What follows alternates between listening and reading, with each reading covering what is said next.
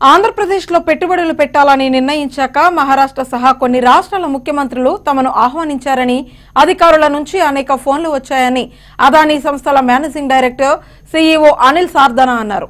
అయినా తమ నిర్ణయాన్ని మార్చుకోలేదని చెప్పారు. దావోస్లో జరుగుతున్న ప్రపంచ ఆర్థిక వేదిక సదస్సులో పాల్గొనేందుకు వెళ్ళిన ఏపీ ఐటీ శాఖ మంత్రి లోకేష్ అధికారుల బృందం మంగళవారం అక్కడ అదానీ సంస్థల ఎండీ సీఈఓతో భేటీ అయ్యారు. ఈ సందర్భంగా సార్ధానా మాట్లాడుతూ ఏపీ ప్రభుత్వం అధికారులు ఎంతో వేగంగా పనిచేస్తున్నారని ఇతర రాష్ట్రాలలో అలాంటి పరిస్థితులు లేవని ఆయా రాష్ట్రాలకు చెప్పినట్లు వివరించారు. వేగంగా విశాఖలో డేటా సెంటర్ ఏర్పాటుకు ప్రణాళికలు సిద్ధం చేస్తున్నామని చెప్పారు. అమరావతి అభివృద్ధిలోనూ ప్రభుత్వంతో కలిసి పనిచేయాలని నిర్ణయించుకున్నామని కనెక్టెడ్ స్మార్ట్ సిటీల ఏర్పాటులో అదానీ గ్రూపు సేవలు అందిస్తుందని హామీ ఇచ్చారు. విద్యుత్ సరఫరా ఫైబర్ అనుసంధానం త్రాగునీరు వీధి దీపాలు వంటి అనేక సేవలు కలిపి ప్రజలకు అందించే వ్యవస్థ ఇప్పటి వరకు భారత్లో లేదని అదానీ గ్రూపు ఆంధ్రప్రదేశ్ ప్రభుత్వానికి ఈ విషయంలో తగిన సహకారాన్ని అందిస్తుంది అని అనిల్ చెప్పారు. మంత్రి లోకేష్ మాట్లాడుతూ అనుమతులు అవసరమైన మౌలిక సదుపాయాలు కల్పిస్తామని అన్నారు. దావోస్ వచ్చిన అదానీ సంస్థల చైర్మన్ గౌతమ్ అదానీని కూడా మంత్రి లోకేష్ కలిశారు. దావోస్లో వివిధ సంస్థల చైర్మన్లు ఉన్నతాధికారులతో మంత్రి లోకేష్ బృందం సమావేశమైంది. ఆ సందర్భంగా వారు పలు హామీలు ఇచ్చారు.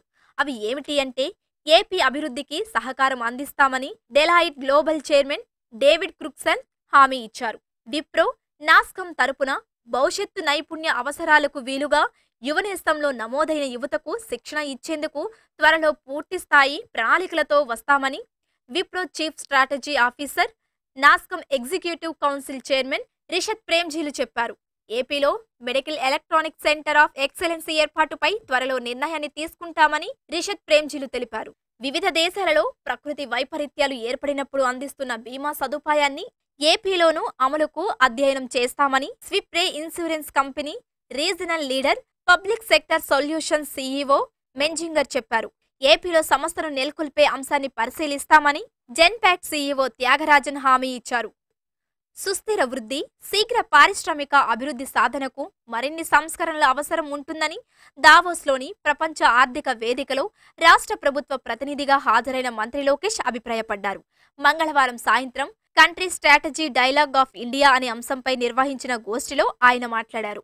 అత్యుత్తమ సులభతర వాణిజ్య విధానాలతో పెద్ద ఎత్తున పెట్టుబడులను ఆకర్షిస్తే భారతదేశం రెండంకెల వృద్ధిని సాధించే అవకాశాలు ఉన్నాయని మంత్రి అన్నారు. ప్రధానంగా కార్పొరేట్ పన్నులు తగ్గించడం చిన్న మధ్య తరహా పరిశ్రమలకు స్లాబ్ తరహాలో ప్రత్యేక పన్ను విధానాన్ని అమలు చేస్తే ఫలితం ఉంటుందని అభిప్రాయపడ్డారు. పారిశ్రామిక అభివృద్ధికి దోహదపడే సానుకూల ప్రభుత్వ విధానాలను అమలు చేయాలని సూచించారు. రాష్ట్రంలో ప్రజలకు మెరుగైన సేవలు రియల్ టైం గవర్నెన్స్ పారిశ్రామిక అభివృద్ధికి తీసుకుంటున్న చర్యలను వివరిస్తూ దావోస్లో రాష్ట్ర ప్రభుత్వం ఏర్పాటు చేసిన ఆంధ్రప్రదేశ్ లాంజ్ ప్రత్యేక ఆకర్షణగా నిలుస్తుంది. AP లాంజ్లోని CII director general Chandrajit Banerjee KPMG chairman CEO Arun కుమార్తో మంత్రి సమావేశమై మాట్లాడారు. పెట్టుబడిదారుల అభిప్రాయాలను ఎప్పటికప్పుడు తెలుసుకోవడానికి ఉమ్మడి వేదిక ఏర్పాటుకు ముందుకు రావాలని సిఐఐ ప్రతినిధులను కోరారు ఆంధ్రప్రదేశ్ రాజధాని అమరావతి నగర ప్రణాళిక. పర్యావరణ అనుకూల నగరంగా రూపుదిద్దుకుంటున్న తీరుతెన్నెలపై సదస్సులో చర్చ జరిగింది. అమరావతి అభివృద్ధి నమూనా భూ సమీకరణ మాస్టర్ ప్లాన్ రూపొందించిన విధానాలను చర్చించినట్లు సిఆర్డీఏ కమిషనర్ శ్రీధర్ చెరుకూరి ఒక ప్రకటనలో వెల్లడించారు.